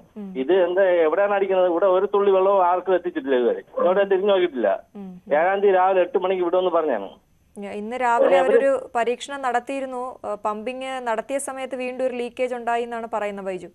അതിന് യാതൊരു കാര്യത്തിൽ അവർ ഇങ്ങനെ നടത്തിയിരുന്നു എന്നാണ് പറഞ്ഞത്. പക്ഷേ ഈ നടത്തിയെടുത്ത് ഈ അഴുക്കുചാലി വീണ ആൾ മരിച്ചെടുത്തും പല പരീക്ഷണങ്ങൾ പരീക്ഷണങ്ങൾ അവർ നടത്തി. എന്നിട്ട് അവർക്ക് ലാസ്റ്റ് അയാളെ ബോഡിയാണ് കണ്ടെത്താൻ പറ്റും. ഇപ്പൊ ഇന്ന് ഒരു മരണ വീട്ടിൽ വെള്ളം ചുമന്നോണ്ട് കയറിയ ആൾ കുഴഞ്ഞു വീണ് മരിച്ചു അപ്പൊ അത്ര മാത്രമേ അത്രയും മാത്രമേ ഒരു ഭരണം അവർ കാഴ്ചവെക്കുന്നത് ഇവർ ഇവർ മന്ത്രിമാർ അവിടെ വന്നിട്ട് ഈ ഓരോ ചാനലുകാരോട് ഇങ്ങനെ പലതും പറഞ്ഞ ആളുകൾ എങ്ങനെ വിശ്വസിക്കും? പലതും ഇങ്ങനെ പറയാണ്. ഞാൻ അത്. ചെയ്തു ഇത് ചെയ്തു അല്ലെങ്കിൽ നമുക്ക് ഇപ്പോ ബൈജു നമുക്കിപ്പോ അതല്ലേ നിവർത്തിയുള്ളൂ നാലു മണിയോടെ വരുമെന്നാണ് പറഞ്ഞത്. നമുക്ക് അത്രയും സമയം കൂടി കാക്കാം. അവരെ വാക്കല്ലേ മേഡം? ഈ ഇവർ ഇവർ പറഞ്ഞ എന്താണ് നടന്നുകൊണ്ടിരിക്കുന്നത് ഈ കേരളത്തിൽ? ശരി. ഇത് കാക്കണെ ഞാൻ ഇപ്പൊ എല്ലാരും പറയുമ്പോൾ ഞാനും കാക്കാൻ തയ്യാറാണ്. പക്ഷെ ബാക്കിയുള്ളത് എങ്ങനെ? ബാക്കിയുള്ള അവസ്ഥ കൂടെ മനസ്സിലാക്കണ്ടേ? തീർച്ചയായിട്ടും തീർച്ചയായിട്ടും ബൈജു. അപ്പൊ നമ്മളെല്ലാരും കണ്ടോ ശരി. അപ്പൊ നമ്മൾ എല്ലാരും കണ്ടോണ്ട് കേട്ടോണ്ട് മാത്രം പോരല്ലോ. ശരി ശരി ശരി ബൈജു. വിളിച്ചതിന് നന്ദി. നന്ദഗോപൻ പാപ്പനംകോട് ഒന്ന് വിളിക്കുന്നു. നന്ദഗോപൻ പറയൂ എന്താണ് അവിടെ ബുദ്ധിമുട്ടല്ലേ കാര്യങ്ങൾ? ആ മേഡം നമുക്ക് വെള്ളം എപ്പോഴാണ് വരുന്നത്? വരുമെന്നുള്ളത് അറിയാമോ? കുടിവെള്ളം ഇല്ല കുടിക്കാൻ പോലും വെള്ളമില്ലാതെ വളരെ കഷ്ടത്തിലാണല്ലോ ഇവിടെ ടാങ്കർ ലോറി പോലും വെള്ളം പോലും വന്നിട്ടില്ല. ആ എപ്പോഴാ നന്ദഗോപൻ ഇപ്പൊ നമുക്ക് മിനിസ്റ്ററോട് നമ്മൾ സംസാരിച്ചപ്പോൾ നാല് മണിയോടെ അവിടെ പമ്പിംഗ് തുടങ്ങുമെന്നാണ് പറഞ്ഞത്. അപ്പോൾ ഒരു മണിക്കൂർ കൂടി അതിന് സമയം എടുക്കുമെന്ന് പറയുമ്പോൾ ഒരു അഞ്ചു മണിക്കകത്ത് വെള്ളം വരുമെന്നാണ് ഇപ്പോൾ മന്ത്രി ഏറ്റവും ഒടുവിൽ നമ്മളോട് സംസാരിച്ചപ്പോൾ പറഞ്ഞിരിക്കുന്നത്. അതാണ്. അപ്പോൾ ഈ പലയിടത്തും വലിയ ബുദ്ധിമുട്ടുണ്ട് എന്നുള്ളതാണ് വീടുകളിൽ നിന്നൊക്കെ മാറി നിൽക്കുന്നവർ ഹോട്ടലുകളെ ആശ്രയിച്ച് ജീവിക്കുന്നവർക്കൊക്കെ വലിയ ബുദ്ധിമുട്ടുണ്ടാകുന്ന ഇപ്പോൾ ഹോട്ടലുകളിൽ പോലും ആഹാരം ഉണ്ടാക്കാൻ കഴിയാത്ത അവസ്ഥ അവർ കടകൾ പൂട്ടിപ്പോകുന്ന അവസ്ഥയുണ്ട്. ഇപ്പോൾ കരമനയിൽ നിന്നും അശ്വതി എന്ന പ്രേക്ഷക ചേരുന്നു. അശ്വതി പറയൂ എന്താണ് ബുദ്ധിമുട്ട് അവിടുത്തെ? അശ്വതി കേൾക്കാമോ?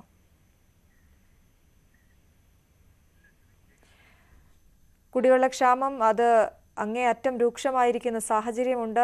തിരുവനന്തപുരത്തിനെ സംബന്ധിച്ചിടത്തോളം എല്ലായിടത്തും ഒരുപോലെ വെള്ളമില്ലാതാവുക ടാങ്കറിലെത്തിക്കും എന്ന് പറഞ്ഞിട്ട് ടാങ്കറിലെത്താത്ത സ്ഥലങ്ങളുണ്ട്. കുടിക്കാൻ ഒരു തുള്ളി വെള്ളമില്ലാതെ കഷ്ടപ്പെടുന്ന ആളുകളെ നമ്മൾ കാണുന്ന അവരുടെ വാക്കുകളാണ് കേട്ടുകൊണ്ടിരിക്കുന്നത്. കടകൾ ഹോട്ടലുകളൊക്കെ അടച്ചു തുടങ്ങിയിരിക്കുന്നു.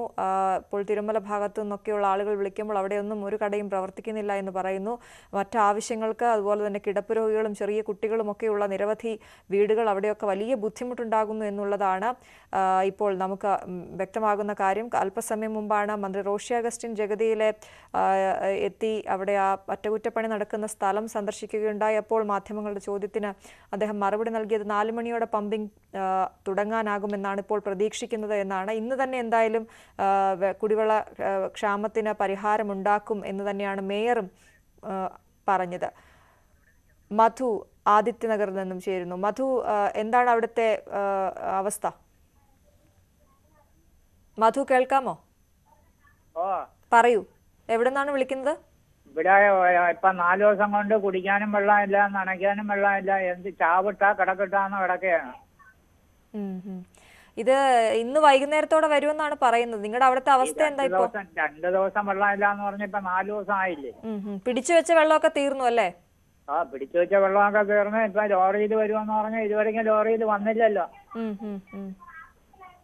ഭക്ഷണം ഉണ്ടാക്കാൻ പോലും പറ്റാത്ത അവസ്ഥയായിരിക്കും. ഭക്ഷണം ഉണ്ടാക്കാനെന്ന് പറഞ്ഞാൽ തിന്നാനും ഇല്ല കുടിക്കാനും ഇല്ലാതെ കിടക്കല്ലേ. ആശുപത്രിയിൽ നിന്ന് ഇവിടെ വന്നപ്പോ ഇവിടെ വെള്ളമില്ല. ആശുപത്രിയിലായിരുന്നോ? മെഡിക്കൽ കോളേജിൽ വെള്ളം ഇല്ലാത്തതുകൊണ്ട് വീട്ടിൽ വന്നു. വീട്ടിൽ വന്നപ്പോ വീട്ടിലും വെള്ളമില്ല. ഓഹോ രോഗിയും കൊണ്ടാണോ തിരിച്ചു വന്നത്? ഓ രോഗിയുണ്ട്. ഇവിടെ കൊണ്ടുവന്ന് പുറം കഴുകണ രോഗിയാ. ശരി ശരി. എന്തായാലും നാലു മണിയോടെ എത്തുമെന്നാണ് മധു പറഞ്ഞത്. നമുക്കത് നോക്കാം. ജയ എന്ന പ്രേക്ഷക ചേരുന്നു മുട്ടത്തറയിൽ നിന്നും. ജയ പറയൂ അവിടുത്തെ അവസ്ഥ എന്താണ്? ഈ നാല് ദിവസമൊക്കെ വെള്ളം ഇല്ലാതിരുന്ന പൊടി കുട്ടിയൊക്കെ ഉള്ള വീടുകളിൽ എങ്ങനെ കഴിയുമെന്നാണ് ഞാൻ ചോദിക്കണത്. പറഞ്ഞോളൂ ജയ. എന്താണ് ബുദ്ധിമുട്ട്? എന്താണ് ഇപ്പൊ നമുക്കിപ്പോ പിടിച്ചു വെച്ച വെള്ളമൊക്കെ തീർന്നു? വീട്ടിൽ ആഹാരം ആഹാരം വെക്കാൻ നിവർത്തിയില്ല വെള്ളത്തിന് ഒരു നിവർത്തിയും ഇല്ല. ഈ എല്ലാ സ്ഥലത്തും ഒരു ഒരു ഒരു മോട്ടോർ പോലും ഇല്ലാത്ത അനേക വീടുകളുണ്ട്. അപ്പൊ ഞങ്ങൾ വളരെ ബുദ്ധിമുട്ടിലാണ് ഇന്ന് നിൽക്കുന്നത്. ഇന്നതാ ഇത്രയും നേരമായിട്ട് ആഹാരം വെക്കാൻ പോലും പറ്റിയിട്ടില്ല. അതെ അതെ. പലയിടത്തും ഹോട്ടലുകൾ പോലും പ്രവർത്തിക്കുന്നില്ല എന്ന് പറയുന്നത് കടകളൊന്നുമില്ല. കടകളെല്ലാം അടച്ച്. ചെറിയ കുട്ടിയുള്ള വീടാണല്ലേ? ഇന്ന് ഉച്ചയ്ക്ക് ഒരു കടയിൽ പോയി ആഹാരം വാങ്ങിക്കാൻ പോയിട്ട് അവിടെ പോലും ആഹാരം ഇല്ല ഹോട്ടലിൽ പൂട്ടി. ചെറിയ കുട്ടിയുള്ള വീടാണല്ലേ? പിന്നെ പതിനൊന്ന് മാസമായ കൊച്ചുള്ള വീടാണ് എന്റെ വീട്. അതേപോലെ എത്രയോ രോഗികൾ സുഖമില്ലാതെ അമ്മമാര് കിടക്കണ വീടുകൾ എത്രയോ വീടുകളുണ്ട്. അപ്പൊ നമുക്കത് വിഷമയില്ലേ അതെ. നാല് നാല് മണിയോടെ വെള്ളം വരുമെന്നാണ് ഇപ്പോൾ മന്ത്രി പറഞ്ഞിരിക്കുന്നത് ജയ നാല് മണിക്ക് ഇതുപോ ഇന്ന് മൂന്ന് ദിവസം കൊണ്ട് ഇങ്ങനെ തന്നെ പറയണ. രാത്രി പത്ത് മണിക്ക് വരും വൈകുന്നേരം നാല് മണിക്ക് വരും അഞ്ചു മണിക്ക് വരും എന്ന് തന്നെ അവർ പറഞ്ഞുകൊണ്ടിരിക്കണത്. നമ്മൾ അതും കാത്തു കാത്തിരിക്കണം. ശരി ശരി. നമുക്ക് എന്തായാലും ആ സമയം കൂടി ഒന്ന് നോക്കാം. ജയ വിളിച്ചതിന് നന്ദി. ജയ സജു എന്ന പ്രേക്ഷകൻ ചേരുന്നു. വലിയ വിളയിൽ നിന്ന്. സജു പറയൂ. ആ മേഡം. കുറച്ച് ആൾക്കാരെ കൂടെ ഉപയോഗിച്ചിട്ട് വേഗം പമ്പിങ് പുനഃ ആരംഭിക്കാതെ ഈ കുറച്ച് ആൾക്കാരെ വെച്ചിട്ട് എങ്ങനെ മേഡം അത് പമ്പിങ് ചെയ്യാൻ പറ്റുന്ന. കൂടുതൽ ആൾക്കാരെ ഇറക്കണ്ടേ? ഇല്ലെങ്കിൽ നമ്മുടെ നാവികസേന അതുപോലെ തന്നെ നമ്മുടെ മിലിറ്ററിക്കാരില്ലേ? അവരെ വെച്ച് നമ്മൾ ചെയ്തു കഴിഞ്ഞാൽ പെട്ടെന്ന് വെള്ളം ഇത്രയും ആൾക്കാർ ഈ നാൽപ്പത്തി നാൽപ്പത്തഞ്ച് വാർഡുകളും തമ്മിൽ കുടിവെള്ളത്തിന് വേണ്ടി ദാഹിച്ചു നടക്കില്ലേ ഒരു കുപ്പി വെള്ളം പോലും കിട്ടാൻ വഴിയില്ല. ഞങ്ങൾക്ക് വാഷ്റൂമിലടക്കം പോകാൻ പറ്റില്ല. എനിക്ക് പല ഫംഗ്ഷനുകളും ഞങ്ങൾ മല്ല മാറ്റി വെച്ചിട്ട് ഇവിടെ ഭയങ്കര ശോചനീയ അവസ്ഥയാണ്. ഇതൊക്കെ കുറെ ആൾക്കാരെ വെച്ച് ചെയ്യിപ്പിക്കാതെ ഈ നാലഞ്ച് പേരെ വിട്ട് പണിയെടുപ്പിച്ചിട്ട് എന്നാവാനാ. ഏഹ് ഇത് ഇത് ജനം കണ്ണു കാണുന്നില്ല? ഇത് മേയർക്ക് കണ്ണു കാണുന്നില്ല? ഇതിന് രാഷ്ട്രീയ പ്രവർത്തകർക്ക് കണ്ണു കാണുന്നില്ലേ? ഇവരൊക്കെ അവരുടെ കാര്യങ്ങളും അവരുടെ ചർച്ചകളും അവരുടെ അഴിമതിയും അല്ലാതെ ഈ കുടിവെള്ളത്തിന് എന്തെങ്കിലും ഒരു പരിഹാരം ചെയ്തിട്ട് പോലെ ബാക്കി. ജനം ചാവാൻ കിടക്കുമ്പോഴാണ് അവർക്ക് ഇത്രയും വലിയ സംഭവങ്ങളൊക്കെ അവർക്ക് വിവരിക്കാനും അവർക്ക് അറിയാനും കഴിയുന്നത്. തീർച്ചയായിട്ടും അത് കൂടുതൽ ആൾക്കാരെ ഉപയോഗിച്ചിട്ട് അത് വേഗം ചെയ്യാൻ ഇതാവണം. അല്ലാതെ എപ്പോഴെങ്കിലൊക്കെ വാഴ് കൂട്ടി അത് കൂട്ടി ഇത് കൂട്ടി നാലഞ്ച് ജീവനക്കാരെ വെച്ചിട്ട് എന്ത് ചെയ്യാനാ? കൂടുതൽ ആൾക്കാരെ ഇറക്കിയിട്ട് അത് പണിയെടുപ്പിക്കണ്ടേ? ഇന്നാളില്ല നാല് മണിക്ക് ഇവർ നാലഞ്ച് പേര് തൊഴിലെടുപ്പിച്ചിട്ട് എപ്പോ ആവാണ് വെള്ളം? ശരി. സജു എന്തായാലും അതെ. സജു നമ്മളിത് അധികൃതരുടെ? ശ്രദ്ധയിൽപ്പെടുത്തുന്നതിന് വേണ്ടി തന്നെയാണ് ഇത്തരത്തിലൊരു പരിപാടി സംഘടിപ്പിച്ചിട്ടുള്ളതും. അതെ നാല് മണി മരിക്കണോ? അതെ വേണ്ട. നാല് മണിയോടെ നമുക്ക് നാല് മണി കൂടി നമുക്ക് നോക്കാം. നാല് മിനിസ്റ്റർ പറഞ്ഞിരിക്കുന്ന സമയം അതാണല്ലോ. നാല് മണി. ഇന്ന് നാല് മണിയോടെ പമ്പിംഗ് ആരംഭിക്കുമെന്നാണ് പറഞ്ഞിരിക്കുന്നത്. അതുകൂടി നമുക്ക് നോക്കാം സജു. ജോജി മുട്ടത്തറയിൽ നിന്ന് വിളിക്കുന്നു. ജോജി പറയൂ എന്താണ് അവിടുത്തെ അവസ്ഥ?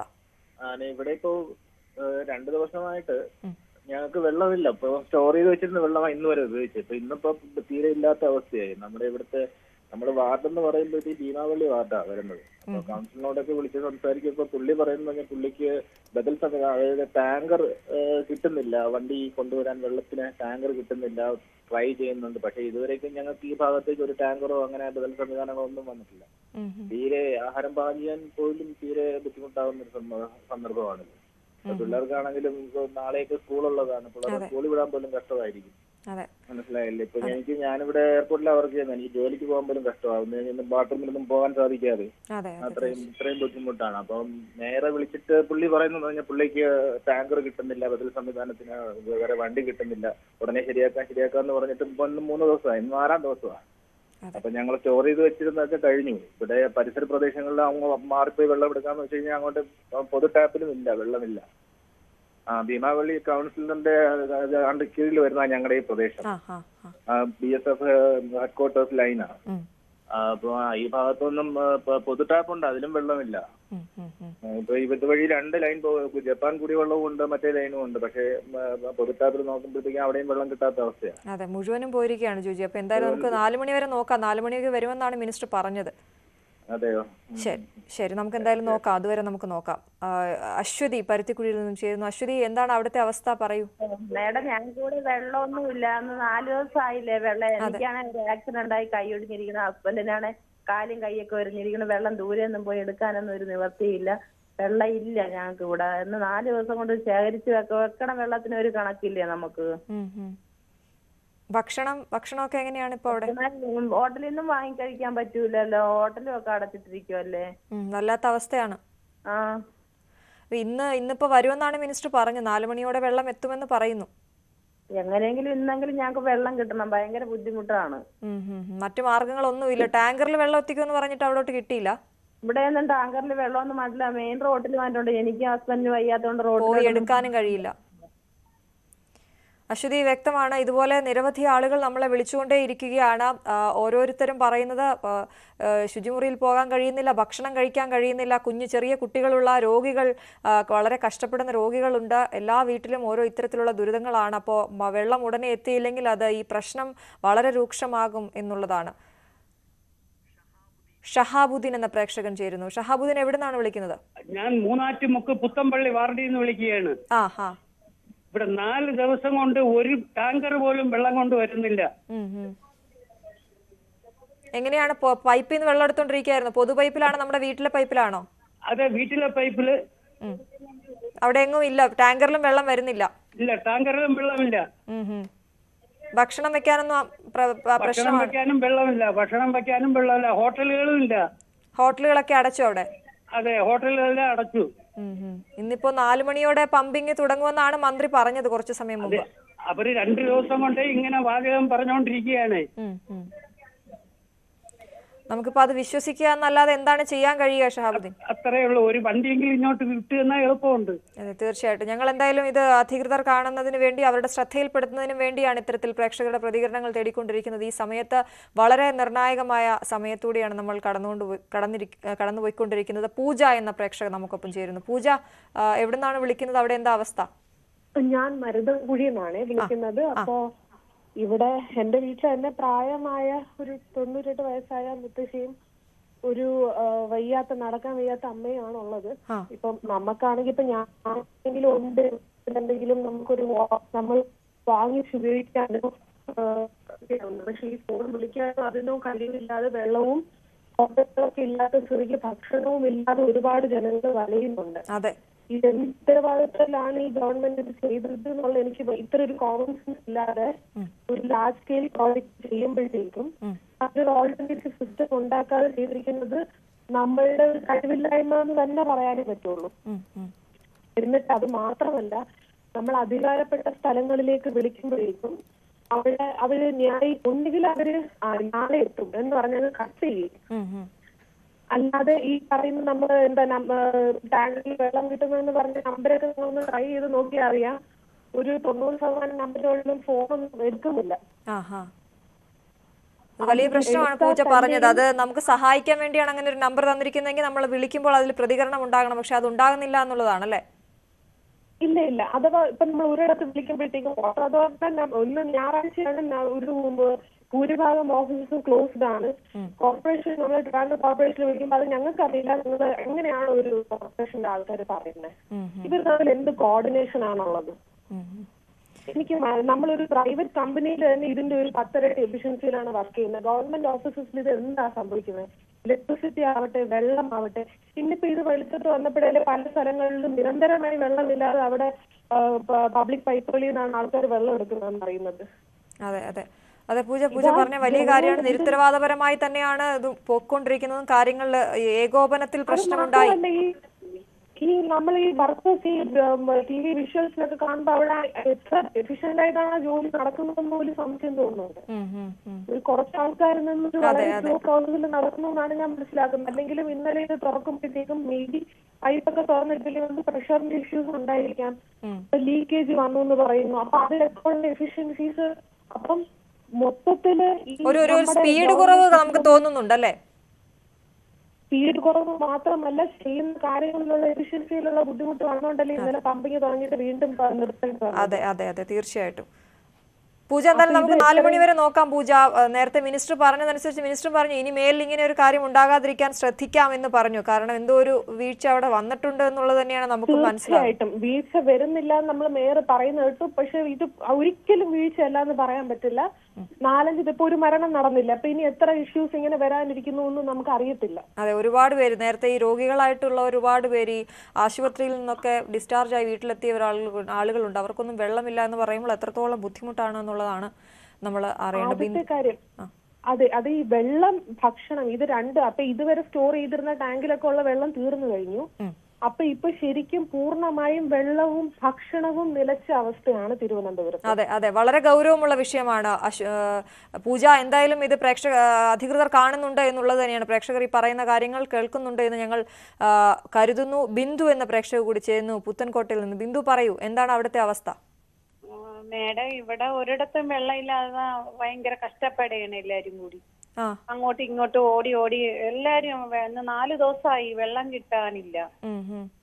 ശേഖരിച്ചു വെച്ചിരുന്ന വെള്ളമൊക്കെ തീർന്നു അല്ലേ? എടുത്തു വെച്ച വെള്ളമൊക്കെ തീർന്നു. ആ എല്ലാ ടാങ്കിലെ വെള്ളമൊക്കെ തീർന്നു. പിന്നെ ഇവിടെ ഒരു കിണറുണ്ട്. ആ കിണറിൽ നിന്ന് എല്ലാ ആൾക്കാരും വെള്ളം എടുത്ത് വെള്ളം എടുത്ത് അവർക്ക് അത് കുടിക്കാൻ പറ്റൂലല്ലോ. ആഹാരം പാചകം ചെയ്യാനൊന്നും പറ്റുന്നില്ല.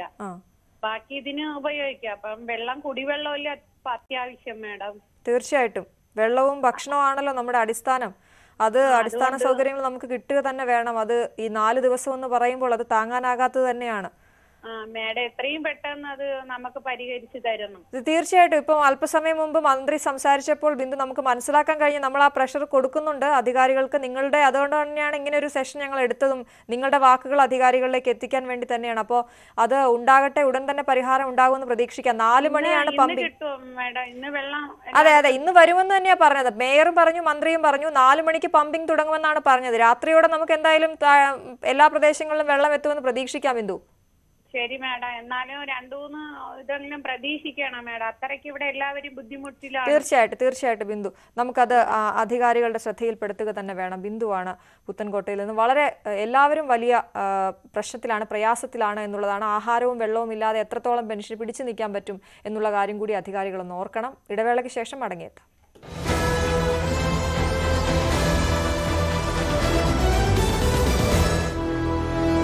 കനത്ത